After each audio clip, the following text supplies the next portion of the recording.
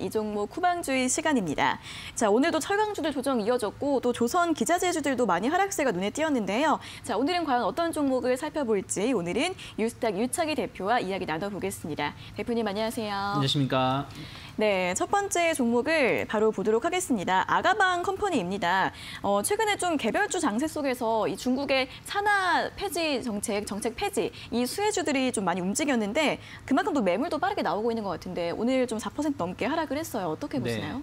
뭐, 그 아가방 컴퍼니하고 최근에 이제 육아 관련된 네. 어, 기업들이 상승했었던 것 중에 하나가 중국이 산하 제한을 세명 어, 이상 나올 수 있도록 좀 폐지했다라는 것이죠. 그런 부분들이 국내 업체들, 특히 우리나라의 관련, 육아 관련된 제품들이 중국에 상당히 인기가 많습니다. 네. 그래서 어, 어떤 매출이 좀 늘어날 수 있다는 기대감들이 좀 반영되면서 어, 주가가 좀 올라왔었고, 뭐 우리나라도 계속해서 좀 인구가 좀 인구 절벽, 인구 감소 이런 시기에 놓여 있는 상황이다 보니까 계속 출산 장려 정책은 필 수밖에 없는 것이고 어, 그런 거에 대한 기대감이 있지만 중요한 거는 이게 지금 인구 감소 문제가 비단 우리나라 중국의 문제가 아니라는 것이죠. 전 세계 공통된 사항인 것이고 뭐 어떤 정책이 나온다고 해서 바로 내일 당장 숭풍숭풍 아기를 낳는 것이 아니라는 것이죠. 네. 시간이 필요하고 또그 정책이 안, 안착될지 여부를 좀 봐야 된다는 것입니다. 그래서 과거에도 어떤 이슈가 있었을 때 올라갔었지만 그 이후에는 이렇다 할 모멘텀 없이 하락을 했었기 때문에 어, 어저께 그저께 좀 많이 급등세를 보였다가 좀 하락을 했고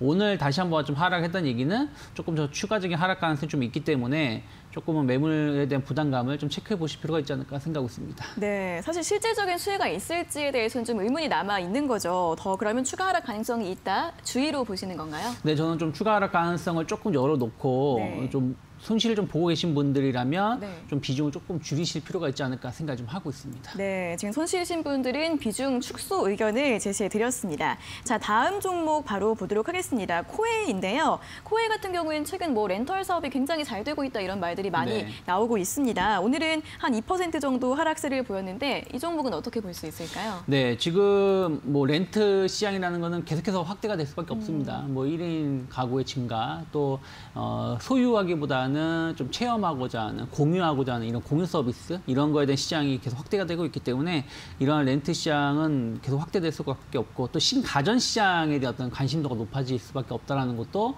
렌트 시장의 확대가 어, 여전히 크다라고 보시면 될 것 같아요. 네. 어, 그리고 이제 코웨이가 좀 장점을 갖고 있는 게 신흥국 시장에 대해 상당히 어, 선전하는 것이거든요. 말레이시아에서 상당히 높은 점유율을 차지하고 있고 말레이시아 주변에 있는 인도네시아에서도 어, 성장성에 대한 기대감도 있습니다.